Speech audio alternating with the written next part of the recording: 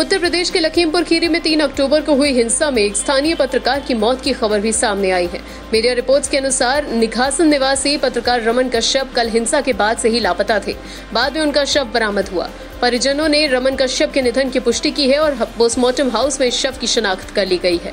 जिस 35 वर्षीय पत्रकार की मौत हुई है, वो साधना न्यूज़ का बताया जा रहा है। पत्रकार की मौत पर हरदोई प्रेस क्लब के पदाधिकारियों ने दुख जताया और साथ ही पत्रकार के परिवारजनों को 50 लाख के मुआवजे की मांग की। आज के दौर में पत्रकारिता का कार्य बहुत ही जोखिम भरा है। लखीमपुर खीरी की घटना की भी जितनी निंदा की जाए, वो बहुत कम है। पूरे प्रकरण की हाईकोर्ट अथवा सुप्रीम कोर्ट के सेवानिवृत्त जज से इसकी जाँच कराई जाए और साथ ही दोषी पाए गए लोगों पर कड़ी से कड़ी कार्रवाई की जाए।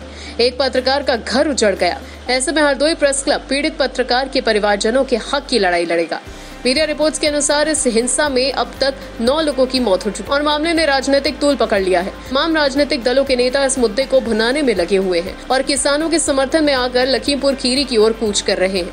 मामले की गंभीरता को देखते हुए गृह राज्य मंत्री अजय मिश्रा के बेटे आशीष मिश्रा के खिलाफ एफआईआर दर्ज कर ली गई है। लखीमपुर खीरी हिंसा मामले में उत्तर प्रदेश के मुख्यमंत्री योगी आदित्यनाथ ने दुख जताया है।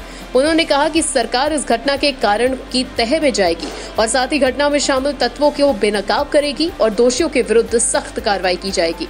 इस घटना के बाद लखीमपुर खीरे में इंटरनेट सेवाएँ बंद कर दी गई हैं। उत्तर प्रदेश सरकार ने बयान में कहा कि घटना में लिप्त जो भी जिम्मेदार होगा, सरकार उसके खिलाफ सख्त कार्रवाई करेगी।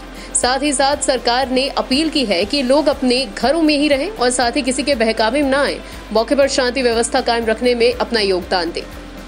आपको बता दें, तीन अक्टूबर को लखीमपुर खीरी में किसानों और बीजेपी कार्यकर्ताओं में झड़प हुई थी। किसानों का आरोप है कि आशीष मिश्रा ने लखीमपुर के तिकुनिया इलाके में प्रदर्शनकारी किसानों पर कार चढ़ा दी। किसानों के मुताबिक वो लोग आशीष मिश्रा के गाँव जा रहे डिप्टी सीएम केशव प्रसाद मौर्य का विरोध करने इकट्ठा हुए थे।